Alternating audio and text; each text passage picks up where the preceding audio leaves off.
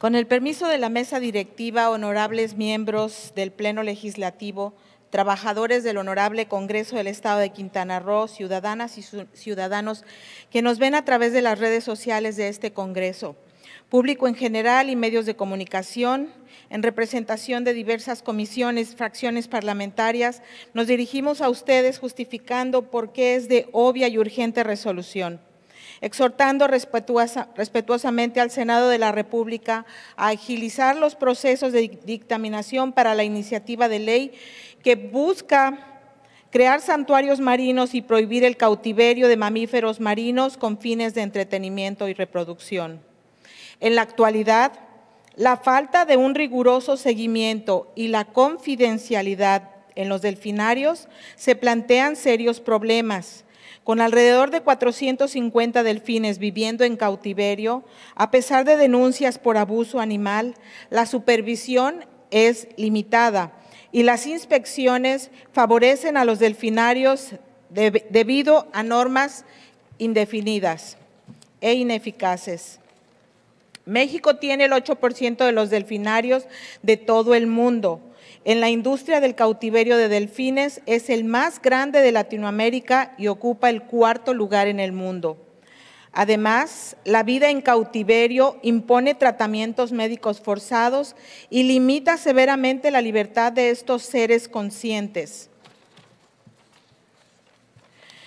Los delfines en su hábitat pueden llegar a vivir de 55, hasta 55 años, mientras que las orcas hasta los 90. En cautiverio, el 53% de los delfines mueren los primeros tres meses y rara vez llegan a los 20 años. El promedio de vida de las orcas es de 5.2 años. En libertad, los delfines forman sociedades complejas en las que mantienen lazos familiares de por vida. En cambio, en cautiverio viven en grupos artificiales y reducidos, sin ningún parentesco y a veces de distintas especies. En ocasiones se tornan agresivos entre ellos, por lo que se les administran hormonas y medicación para controlarlos. En libertad pueden usar su ecolocación para ver en ambientes de poca visibilidad y cazar su comida en las piscinas vacías, no usan su ecolocación porque no hay nada nuevo que descubrir y a veces en algunos tanques las ondas rebotan en las paredes y les genera estrés.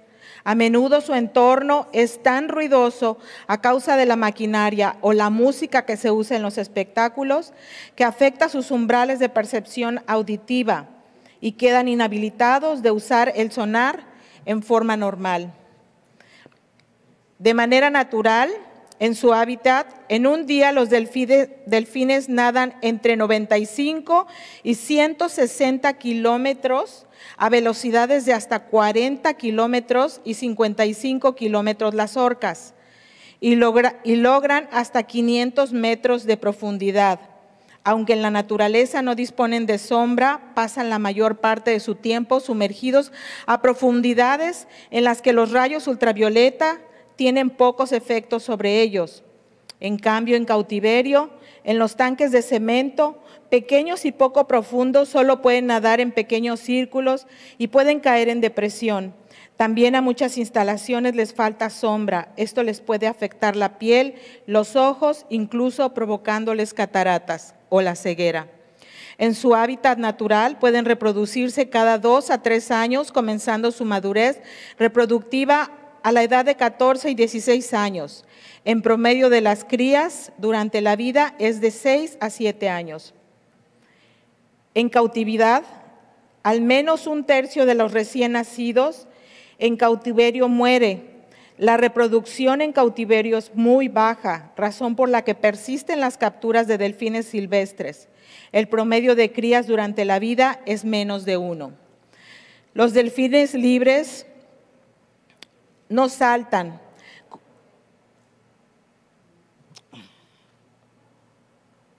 No saltan a través de aros para pedir alimento como recompensa y no llevan personas de paseo en sus aletas. Los saltos y golpes en el agua con las aletas son parte de una comunicación corporal cuyo significado recién empezamos a comprender.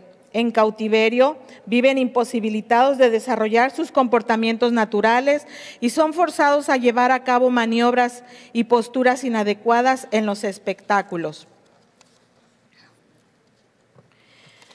Dado que no hay obligación legal de computar las muertes de crías de menos de un año y que no todos los países establecen la obligación de registrar las muertes de sus animales, el índice de mortalidad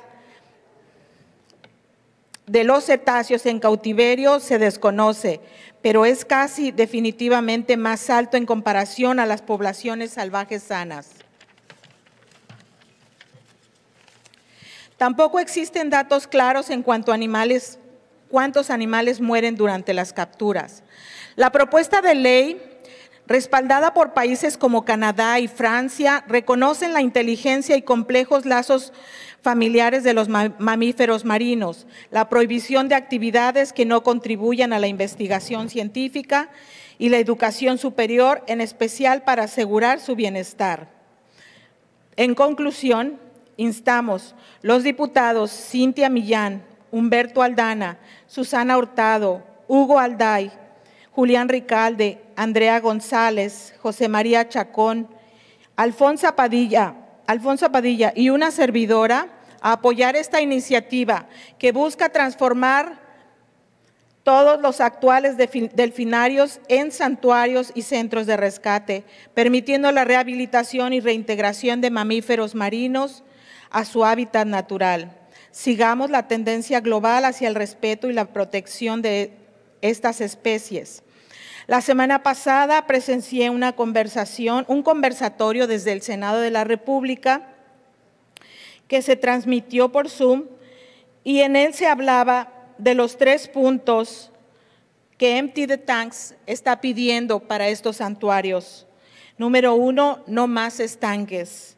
Número dos, no más reproducción de delfines. Y número tres, no contacto con los humanos.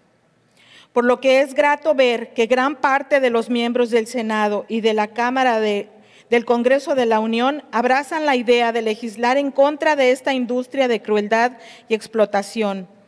Yo les pido a todos, compañeros diputados, acompáñenos a dar un paso importante y a posicionar a Quintana Roo como un Estado progresista y respetuoso con su naturaleza y su medio ambiente.